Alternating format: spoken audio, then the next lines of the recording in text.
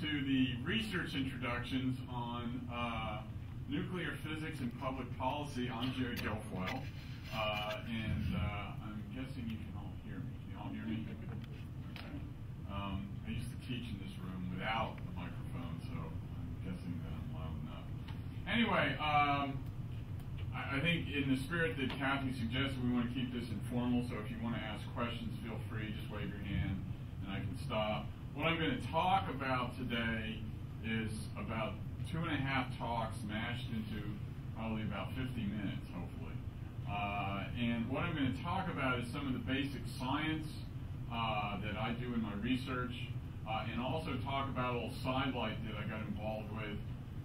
Well, in, in some sense, 30 years ago, but a little more seriously, about 10 years ago, uh, involving mostly the application of my field, which is nuclear and particle physics, uh, to issues related to public policy, in particular the proliferation of nuclear weapons.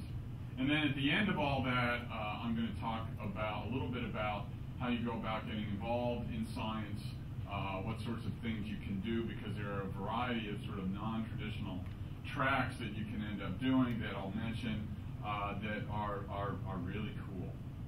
And uh, sort of one of the, the, the one of the most frustrating things about my job is I can't get to do all the cool stuff. So, um, and so with that, let me uh, start talking. Um, it's to be very schizophrenic. I probably don't know which one I should point at. So uh, I think I'll pick this one since y'all are closer to it. Um, the first part of my talk is going to be about uh, basic science. Uh, this is a famous Sidney Harris uh, cartoon about the earliest form of the periodic chart uh, by the Greeks. And that's really closely tied. There's a very nice line from uh, first Greek studying that to uh, what I'm going to be talking about in particular. Uh, here's just a quick outline on what I'm going to talk about. Like I said, I'm going to talk about basic science first, study of matter, uh, tied into nuclear nonproliferation, then talk a little bit about science careers. Uh, the first thing I want to talk about is sort of what we know. All right, you know what science is about. Mostly, most importantly, is what we don't know. But you want to start off about what we know. And right now, well, we know lots. Okay, we know about the Big Bang. All right, we know at least in, in, in a very real sense the major outlines of the structure of the universe. Uh, we know a lot about geology, though we probably know less about the center of the Earth than we know about the limits of the universe. Uh, we know a little bit bio biology and you start looking down in the atomic and subatomic world, and there's a lot of stuff that we know about. We can break atoms down into nuclei and their electrons. We can take that nuclei, those nuclei, and split them apart into protons and neutrons. And we can even get down to where my research is focused, below that, where we look at the structure of protons and neutrons. To kind of get you in the mood, all right, I thought I'd put up something that's nice and familiar name of the periodic chart. And what this tells us is, you know, some people, you know, they call this the table of elements. Uh, it's not. We'll see the table of elements in a minute.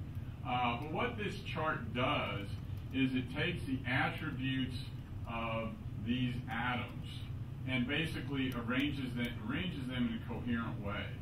And so typically as you go down a column, you're going in increasing mass. As you go across a row, you're looking at different charges, okay, in the nucleus and, and the number of electrons. And so this is a way to kind of structure things uh, so that uh, you can see the, see the ordering and systematic behavior of these things. Well, the real table of elements is this thing up here in the right-hand corner.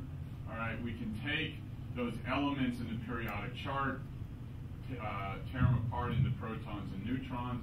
We can actually then go and take and peer inside those protons and neutrons, and what we see are essentially six things that we call quarks. Okay, I didn't name them, I didn't pick the names, not my fault.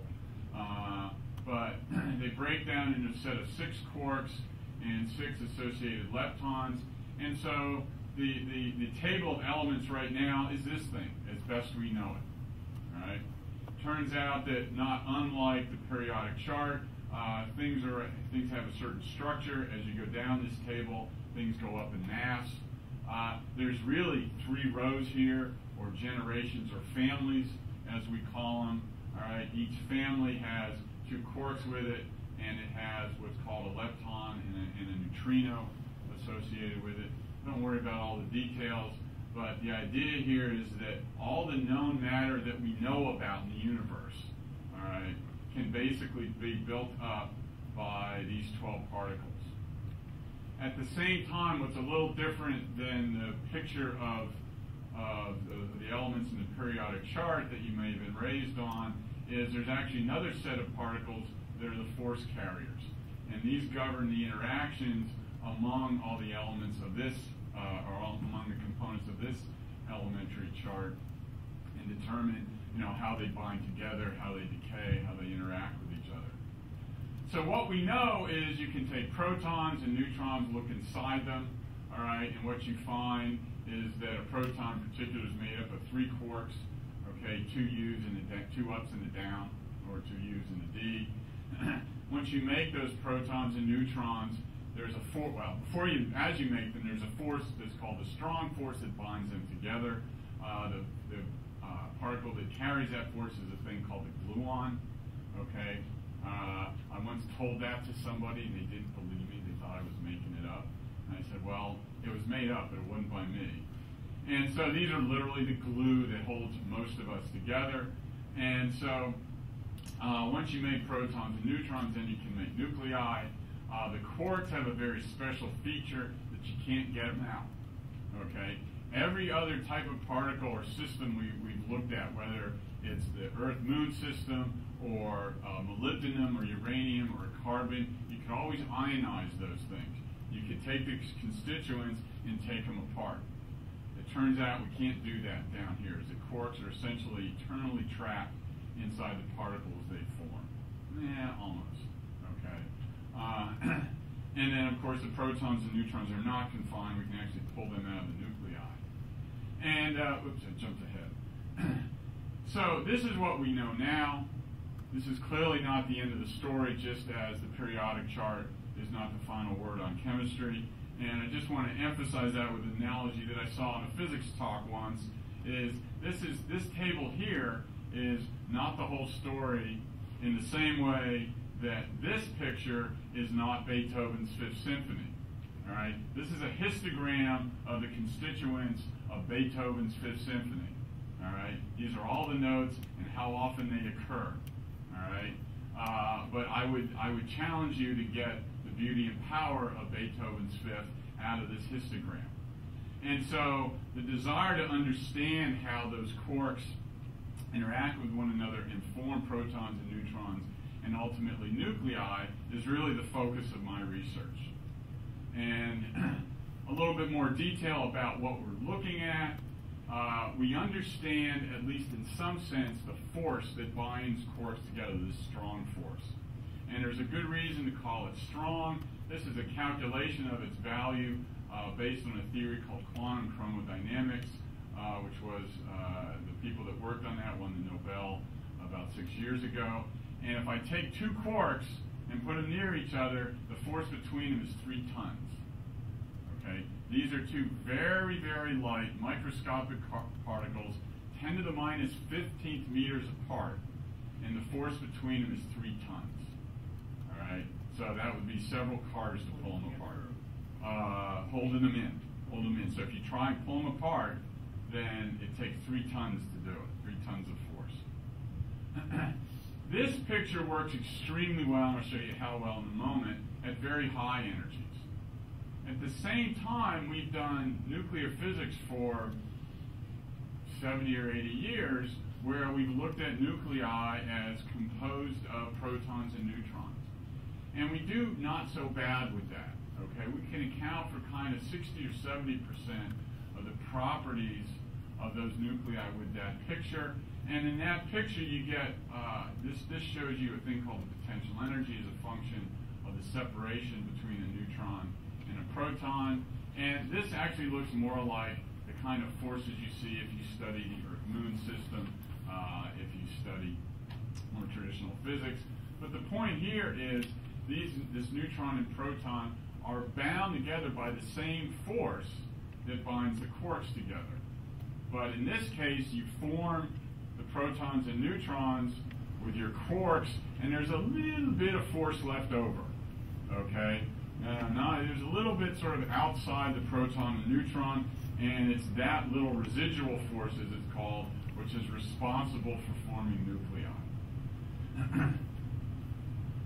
well, how well do we know things? Uh, there's lots of stuff on these on these two plots. Don't worry about it. There's two things you want to get out of both of them. One is, if you look at the scale here, this goes from 1 to 10 million. Okay, this is a uh, semi-log scale. That's a big range. All right. The points on here, the different shapes and whatnot, they're different. They're data. They're measurements. The lines are theoretical calculations. Okay, across a factor of 10 million. All right. the data, the theory agrees with the data. All right. This is a stupendous level of accuracy and agreement between a theoretical calculation and measured quantities. That you're basically getting it right uh, across a factor of 10 million. At the same time, and this is this is based on QCD, this quantum chromodynamics. So this is based on studying quarks at the most fundamental level that we can reach right now. If I go back to this other picture, we call it the hadronic model, where we look at protons and neutrons as made, or nuclei as made up of protons and neutrons, that theory also does extremely well. And if I look at the same two things here, okay, the scale here goes from 10 to the minus 9 to 10, a little over 10 to the minus 4. Okay, it doesn't go 10 million, it goes sort of 400,000, okay, in terms of scale. And you look at here, the data points, all right, there's a number of theoretical calculations, but Wally Van Orden's calculation, he's a professor at ODU, all right, does again really quite well at, uh, at getting agreement between the calculation and the data. And so the point is, is that these two theories work very well. But this one works at very high energies. If you look here, these numbers are in the hundreds. Okay. This one works at much lower energies. You look at the numbers here, it's there are a few. Right. And one of the one of the main focus foci of my research is to basically understand how we can try and merge these two pictures. Because what we know is that protons and neutrons are made up of quarks. And if I know what the constituents are up here, and I know what the force is, QCD, I should be able to calculate what the protons and neutrons and nuclei look like. It's very analogous to what was going on in physics in the late 40s and early 50s. We knew what the constituents of molecules were. They're atoms, all right? We also had a theory for the force. Back then it was called quantum electrodynamics. And we eventually, on the basis of that, constructed probably the most successful theory in, in the history of the human species. All right, there are QED calculations that are accurate out to about 16 uh, significant digits. And so it was extremely successful. And now what we're doing is we're now trying to do that uh, with quarks. Okay. Uh, well, you know, it, you know, there's an old saying that you know, if we knew what we were doing, it wouldn't be research. If we knew what the answer was coming up, we wouldn't be doing research on it. But there are some problems, okay, with what we don't know. What we know, what one of the things they talked about before, you and I are, are made up mostly of triplets of quarks, okay? Proton is two ups and a down, or two U's and a D. Neutrons are two D's and a U, all right? And so they actually make up 99% of what we are. Okay, most of the mass is in the nucleus. 99% of the mass is in the nucleus. Most of it comes from uh, from those quarks. Well, and so as I said, you know, proton is two ups and one down. You know, so we should be able to figure out what these things weigh. And from here in our periodic chart, we've got the mass down in this column. All right, and in the first row, I got the mass of the up and the mass of the down. So we should be able to calculate, say, the mass of a proton, which is two ups and a down. And so you can go do that, all right? Mass of a proton is twice the mass of the up up here, once the mass of the down. Okay, there's kind of funny units. Yeah, you know, it's just easier with these. You don't have big exponents you got to drag around. But, you know, I, I'll bet you guys could all do this in your heads, all right? 2 times 0.002, uh, that'd be 0.004, plus 0.005, 0.009, plus or minus 10%. Okay? So you can calculate that, you go and measure it, you're off by a factor of 100. Okay? So the masses of the quarks do not add up to the mass of the thing they make. Okay? And right now, we can't calculate what that is. All right? Now, is this a complete disaster? Well, we, we sort of know in what physicists call a hand waving way what the reason is for this discrepancy. Okay? Remember the three tons. Two quarks, all right, I put them close together. Three tons of force if I try and pull them apart. Okay? What that means is it's real strong.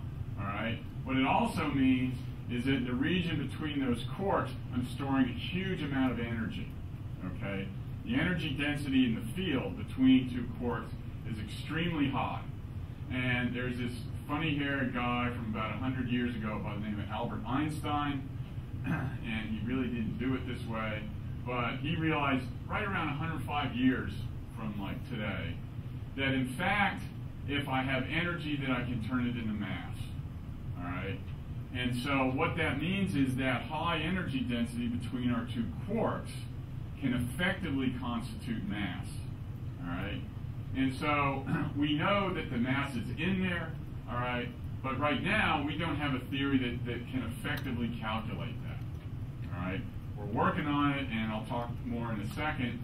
But the challenge here, one of the challenges of the type of research that I do, is to come up with a fundamental theory that will enable us to solve this problem that, well, we kind of know there's all this energy stored in the region between the quarks where the fields are, where the forces act. All right? But right now we can't really calculate it. Uh, well, we can't really calculate, but maybe soon. Okay? These are some results. Again, don't worry too much about what this is on, on, the, on the vertical scale. It's essentially a measure of the currents inside the neutron. Okay? But what this shows you is a quantity that uh, there's sort of three sets of data on here. There's the green stuff, all right, which is sort of the world's previous data before about a year and a half ago. Uh, it's a whole bunch of different experiments as you get up. This, oh, lost the horizontal axis. Uh, this is essentially uh, energy along here, all right, so you're going to higher energy. And what happens here is you look at the green points, it's a whole bunch of different experiments. Uh, as you get up to higher energy, uh, the data, well, they suck. All right. Uh, basically, the error bars are big. And so it's really hard. You know, you see some theoretical curves here. It's hard to distinguish between all of those curves uh, from these data.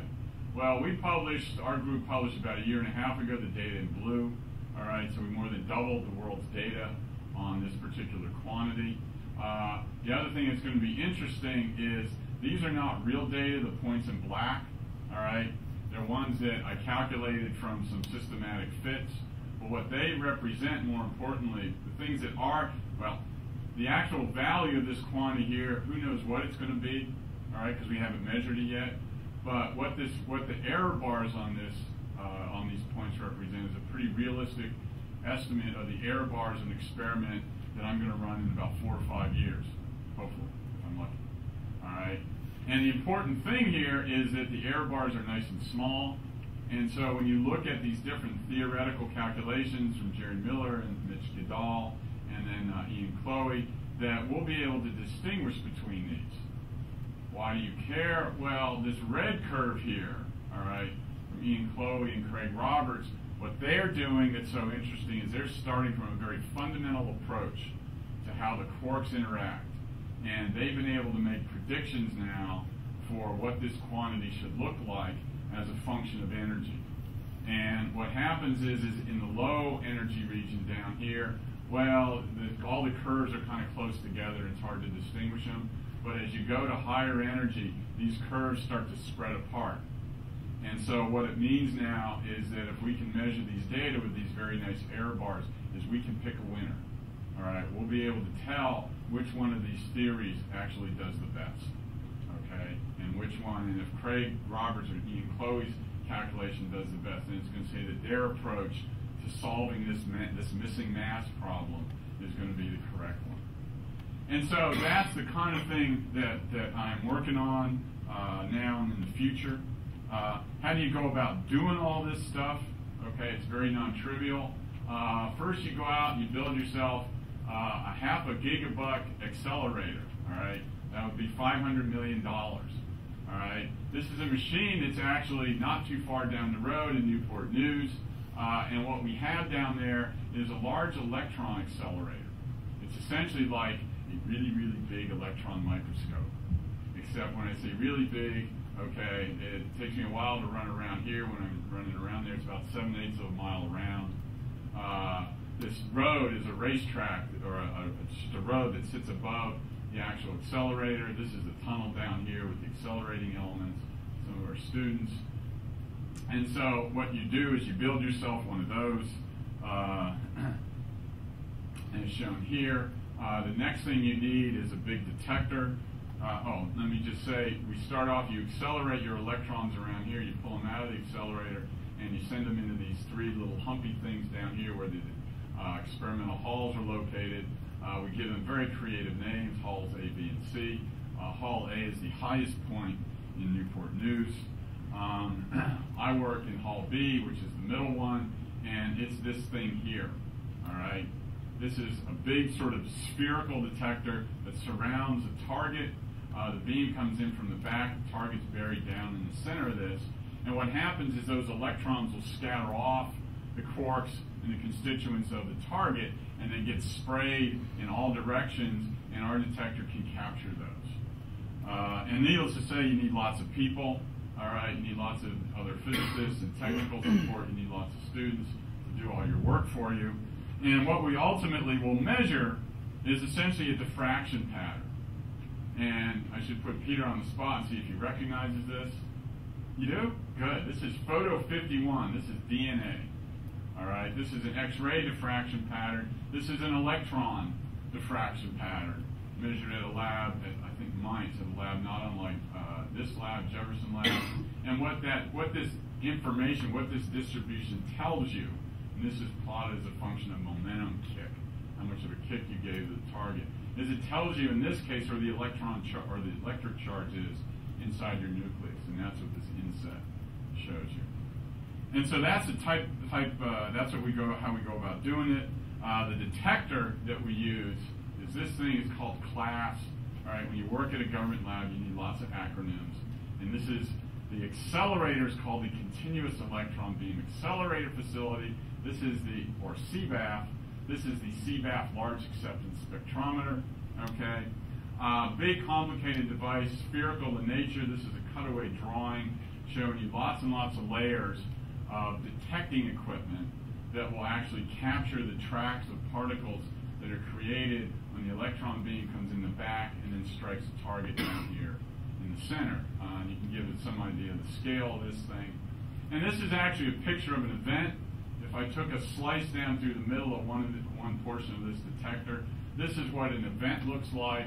What you see are many layers of detection equipment, and the little red dots are basically the tracks of electrons and pions and lots of other types of particles that come out of these things.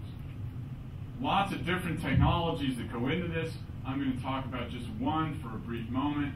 Uh, there's a couple, there's these thin layers out here, okay, which correspond to the red panels in this picture. Those are called time of flight scintillators. Okay, they're scintillators.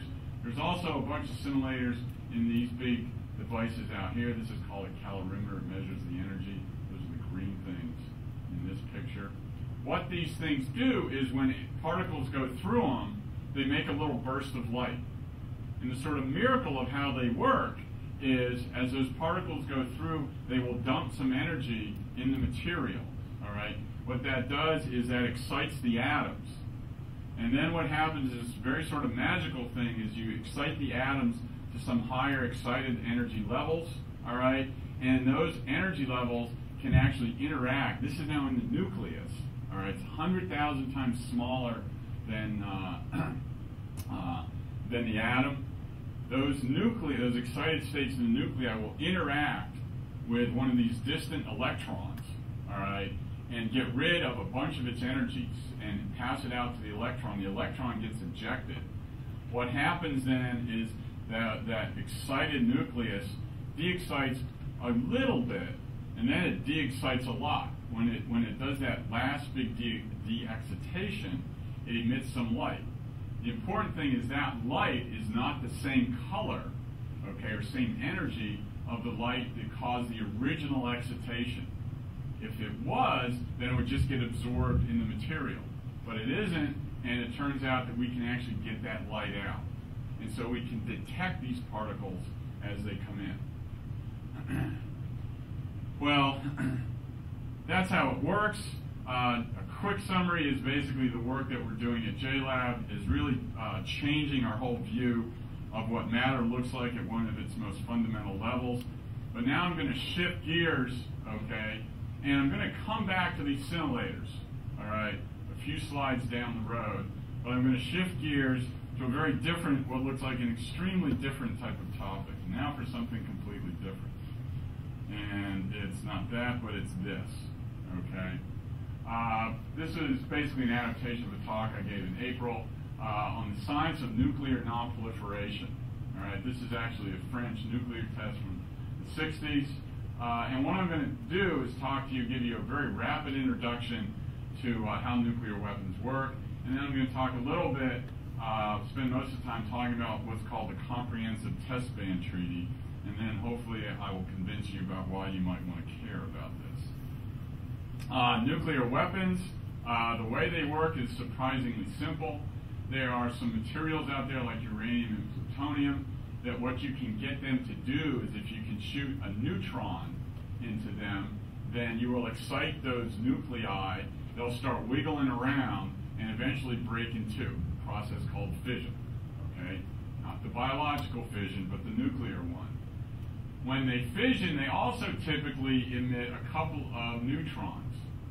Well, those neutrons can wander out, and if they're lucky, they'll hit another fissile nucleus, excite it, and make it fission.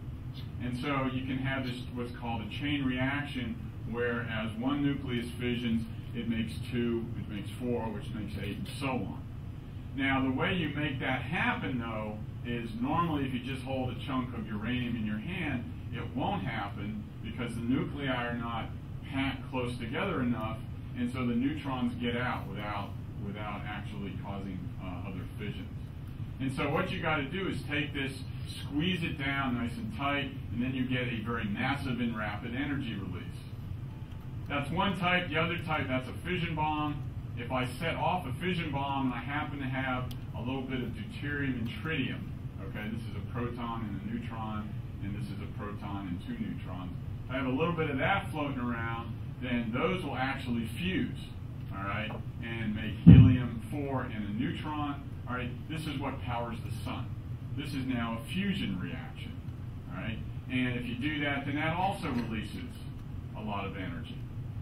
The thing that makes people nervous is I can do this with 8 kilograms of plutonium. That's about uh, a beer can's worth. Uh, or 25 kilograms of highly enriched uranium eh, six pack, not quite, maybe. All right.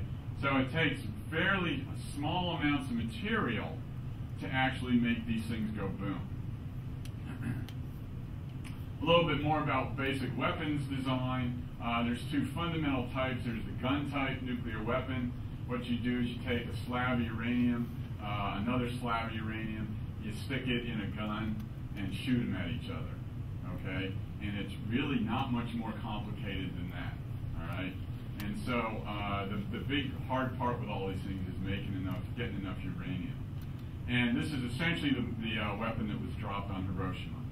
Okay, uh, this is so easy to do that the Hiroshima weapon was never tested. They were so sure that it would work the first time. The other type, which is uh, relevant only for sort of very advanced countries like the U.S. and Russia, is what's called a two-stage thermonuclear weapon. Uh, you have a fission bomb in here, a different design. All right, uh, this is made out of plutonium. You make a shell of the metal. You surround it with high explosive All right, you set off that high explosive, and what that does is that squeezes the plutonium down so it gets dense enough to reach a critical mass. You get your chain reaction, and and you run away rapidly. Okay. What can also happen here is when this thing goes off, the pressure of the light that comes off of this thing is big enough to squeeze this device down here, which has a little bit of deuterium and tritium gas in it. All right. As that light wave squeezes that material down, it gets dense enough and hot enough that you initiate fusion reactions. All right. So you get additional energy release. And then, in fact, usually you put in a little stick of uranium at the end so that it starts to fission again. So, uh, so this is actually a fission, fusion, fission bomb, which is the type that's on many in the U.S. arsenal and in the Russian arsenal. anyway, and then I have this in here because this is just kind of a really interesting picture. Uh, this is a nuclear explosion, uh, a millisecond in, when the fireball is about 20, 60 feet, 65 feet across. Okay, um, so the camera probably didn't survive this, um, but that's what it looks like initially. So those are the basic design features, uh, effects. Uh, if you look real close, you might recognize some of these. Uh, what you get here, this is a Google map of us right now, where we are. Okay, the dot in the center is not the dot; it's about the size of the crater, be about a thousand feet across. If we set off a weapon about the size of the Hiroshima bomb, uh, this first ring out here, which goes out past Three Chopt, almost to Patterson, that's the five psi, five pounds per square inch radius. All right, basically that knocks all the buildings down. So all the buildings go away from here out to Patterson Avenue. Uh, the next ring here is if you're out sunning yourself, uh, when it goes off, you get second degree burns from the pulse of light from this thing out to, well, that's past Monument, that's Broad Street. So, um, and so this shows you the size of the effect. This just talks a little more detail about where the energy of the blast goes. Um, needless to say, you don't want to be anywhere near this, okay, if such a thing actually went off.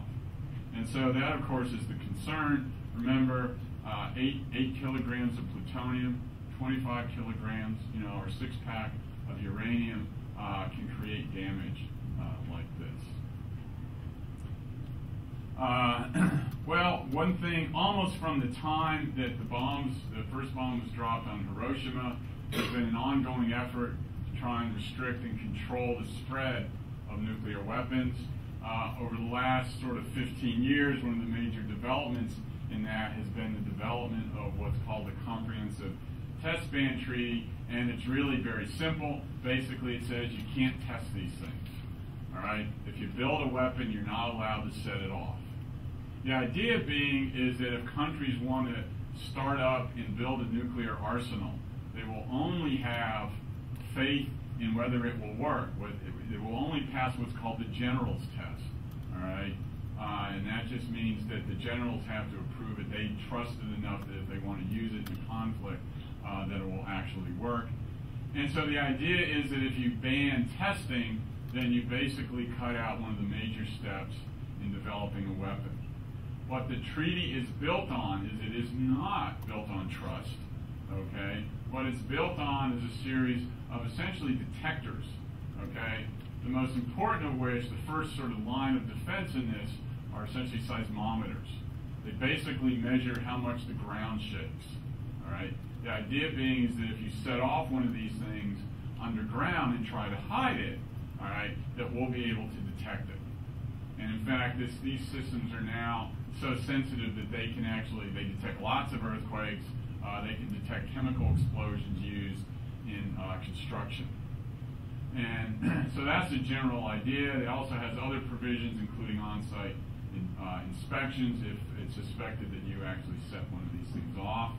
Uh, the U.S. has signed the CTBT. It signed it many years ago, uh, but never ratified it.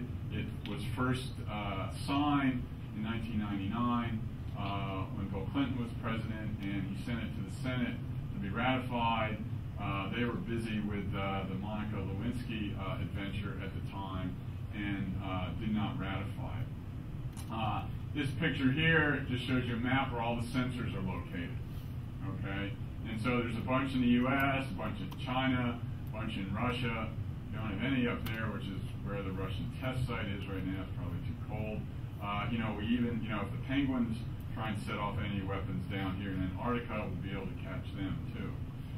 And so this is a theory, or a theory, a treaty, uh, which is focused on trying to cut out uh, one of the major steps that countries have to go through to acquire a nuclear weapon. Well, how well does it work? All right? Because you can sort of talk all you want, but if something happens, can we actually use it? And when I was making up this talk, I decided, well, you know, let me talk about something that is sort of in the news, okay? Well, one of the things that was in the news four years ago is the North Koreans set one off. All right, they have a test facility at Punggye in the northeastern part. Uh, this is a picture of it, so you can see the access roads and uh, the tunnels that go into the underground, uh, uh in the underground cave where they actually set these things off. so they set one off. Part of the INS, or the IMS, the International Monitoring System for the CTBT, was active at that point. In fact, 20 IMS stations detected it. Uh, the yield was very small. People suspected it basically didn't work.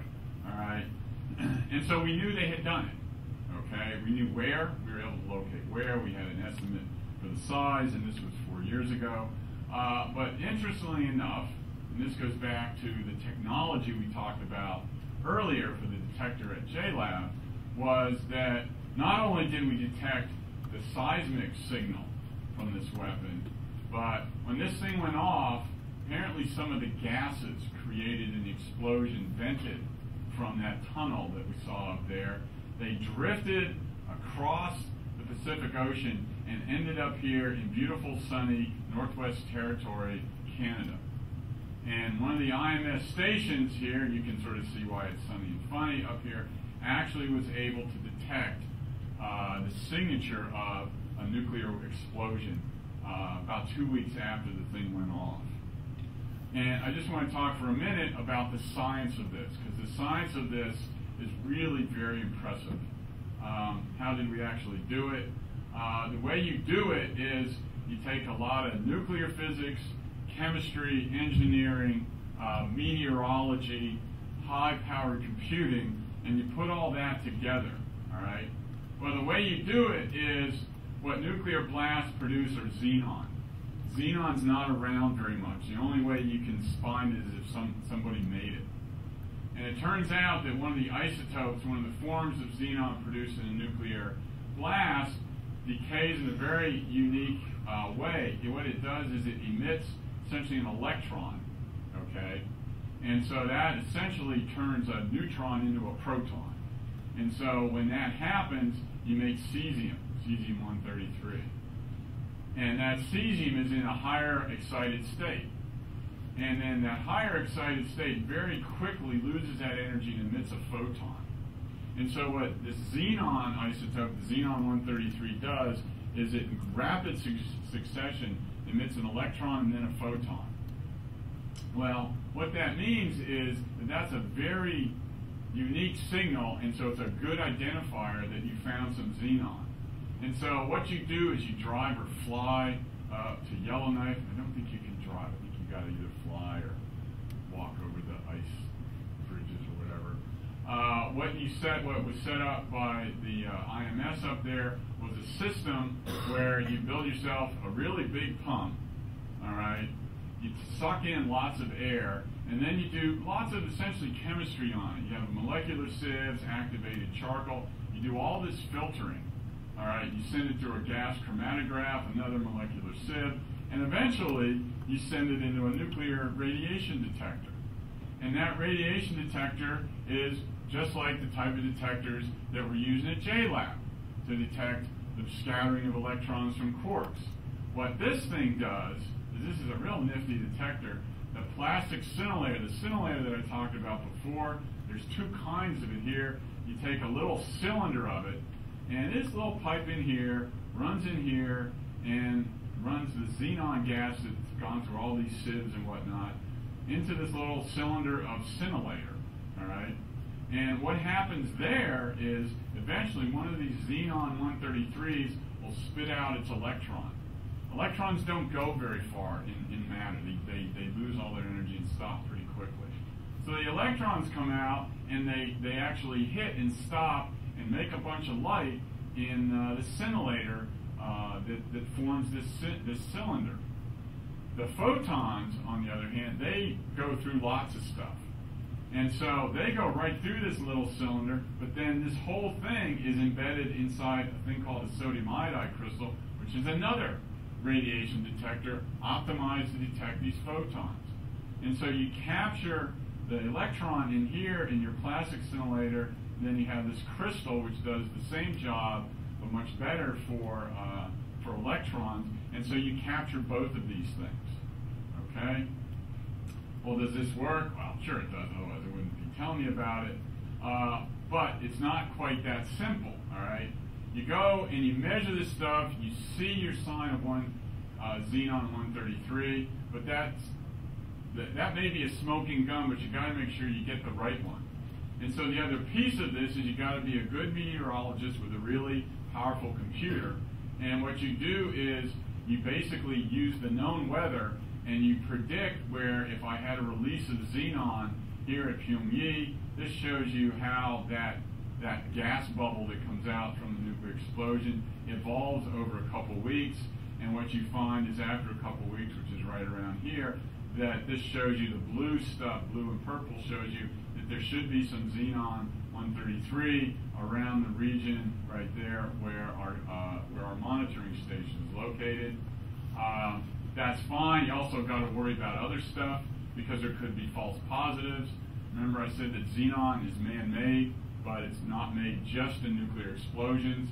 Uh, these are, this, this is a, a, sampling from that station. You see these big peaks here. That's xenon. That's from a drug company, okay, that are making pharma, radiopharmaceuticals at, uh, at a reactor. This is Chalk River, way on the other side of Canada, okay? But this system can pick those up. This little nibble down here is our North Korean explosion. What this shows you here is this is the actual data. This is the prediction from this atmospheric modeling. And so they predicted you'd see a peak around the 23rd or 4th, and they saw a peak right around the 22nd. And so this was confirmation that the North Koreans had set off a blast and that we had actually detected uh, the xenon from it. Well, you know, they had, the North Koreans had so much fun doing that. The first time that what they then did, uh, just a little over a year ago, a year and a half ago, they set off another one. This time, remember, there was 20 stations detected it. This time, 61 got it. It was a little bigger. We had more stations in place. Uh, but then the big surprise was no one detected any radio xenons. There's no xenon uh, that we detected in any of the stations when we should have. We actually, by, by 2009, there were several stations near the Korean Peninsula that should have detected this. And so this was something of a controversy. All right? And, you know, the question was, well, what went wrong? Why aren't we detecting this stuff? And this is actually where the story gets interesting, or maybe sad in some ways. The North Koreans, could they have faked the explosion? Because people were worried about, well, maybe they can make us think they set off a nuclear blast. Well, they would have had to uh, move in something like uh, 5,000 tons of dynamite to actually do this. And I actually figured out it would take hundreds of trucks, okay, in order to carry that much dynamite. Uh, there's no signs of that. We sit there and we watch these guys from our satellites. Don't see a lot of trucks coming in and out. Uh, was it sealed? Okay. From my experience in the field, I thought, well, these, these gases get out all the time. Well, turns out I was wrong between 1971 and 1992, the last time we did a test, we set off 335 nuclear weapons to test these things. Of those 335, only six actually released anything. Okay? So we knew how to seal the things off. Okay? Well, how did the North Koreans know that? Well, they just read the stuff that we published on it. Okay? They Googled it. Okay? And so they probably just were able to figure out how to actually seal the thing and so what they did was they sealed it. And so the question comes, and, and this is actually, this information came from a study that just came out like a week before I gave this talk in, uh, in April. And so the question is, is are the seismic sensors enough? And it turns out that, well, I mean, you can uh, read, I mean, I'm not the expert on this, but the, the, the two major societies of geologists have in fact stated that with the technology we have now, we can detect all explosions down to a kiloton, uh, much less over a lot, large uh, areas, and we can also nail down the location very tightly. And this was actually just uh, a few, well, a year ago now. And so it'll work. Uh, why should you care about all this? Well, the president has actually committed, at least publicly, that he will bring CTBT to a vote. Okay, so this is now going to become a political issue at some point. Uh, there is, amazingly enough, Republican opposition to this. Okay, Senator Jon Kyl, Republican from Arizona, has said the following. Uh, basically, uh, the monitoring system failed to collect necessary radioactive gases and particulates to prove that a test had occurred. Okay? And so, what one side of the aisle is saying that, oh, we don't know that they really set off a nuclear explosion, even though the seismic data clearly indicate that. And just to give the other side, this is a quote from a report by the National Academy of Science, Sciences that looked at some years ago at the technical issues related to the treaty that basically saying that you know the worst case scenario when you don't have a CTBT is actually much greater, uh, much bigger threat than if you do have it. And so the point here is this is an issue where there's some very serious science, okay, that is impacting and going to have an impact in the political arena, already has 10 years ago, and will likely do that in the future. And so this type of thing will affect, uh, should affect, uh, or impact uh, how you all vote the future. Let me go, eh, let me skip that because I'm talking too long. Uh, I also want to talk a little bit about science careers, okay? Uh, how I got involved in this and how uh, you all and other people can get involved in this. Um, some of this stuff you may already know. Uh, to me, the best way to get involved in science is number one, read, okay? And you know, you don't have to read the journals. You don't have to read physical review. Uh, I, I really like Bill Bryson's book on the short history of nearly everything, um, even though he doesn't pretend to be uh, a scientist. Uh, there's a guy, Richard Preston. He's written. How many people here have ever read Hot Zone?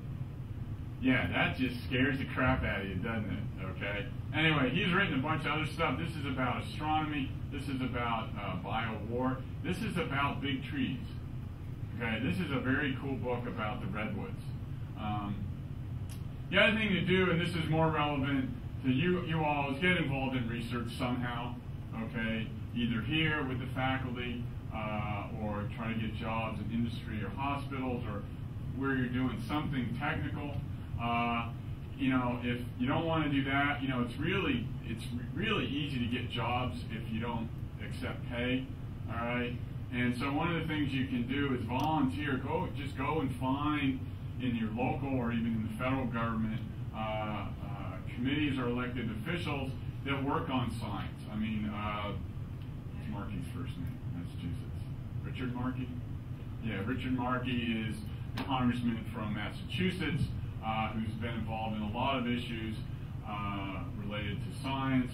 And so there, there are sort of science-oriented people. There's uh, Rush Holt in New Jersey, uh, who, who, focus a lot on scientific issues. Uh, there's non-governmental or organizations like these, Federation of American Scientists. Um, if they're near you, if you live, especially if you live near DC, you know these guys all have offices there. You can go work for them for free. They'll probably take you. Um, ask questions, uh, learn about stuff, learn what's important, learn where the where the field that you like is going. Uh, just to let you know where the money is going and who does what. This shows you uh, uh federal funding of research over the last sort of 40ish or so years. Uh, the big uh, thing that's risen over that time, this is mostly the National Institutes of Health. So there's a lot of biomedical research getting funded now, though I know they're not very happy because this is now going down. All right. Uh, engineering, the physical sciences have been pretty stable over the years. Um, but this gives you a feel for sort of where federal money goes uh, to fund research. And so whether you're looking at it as someone with a bachelor's degree or further down the road, someone with a more advanced degree, uh, these are the sorts of areas where, where you can get funding. Uh, one of the interesting things that I learned in preparing this was the impact of business on research funding. Um, focus on the right-hand panel up here. This shows you over the last half century or so uh, the amount of money uh, provided by business, which is the dot, dashed line or dotted line, versus the federal government, which is this one down here. Uh, back in the 50s and 60s, it was dominated by the federal government. It's now dominated more by business. Um, be a little bit careful. This is actually this plot. This this one is research money. This one is research and development. Okay, so that's a little further down the line in terms of getting the market. Uh, and so what this is saying is that companies now do uh, a lot of research, and industry is a very active place. And then the last thing uh, I want to put up is, you know, go learn about stuff. And one of the best places to learn is the American Association for the Advancement of Science. Uh, I spent a year working in government. Peter Smallwood down here also spent a year working in government among other places like Afghanistan and Iraq. Uh, but they have all sorts of information from how to run your lab. Okay, I wish I would have had this a while back. To if, if you don't want to stay in science, and stay in a lab. All right, if you want, if you get a degree, a bachelor's degree or a PhD, and you would like to use that, you would like to do science, but not in a lab setting. Okay, when I was working in D.C., I met a guy, eh, late 20s or so, bachelor's degree in physics, basically ran all the programs. Okay, or he evaluated, worked for GAO, uh, Government Accounting Office.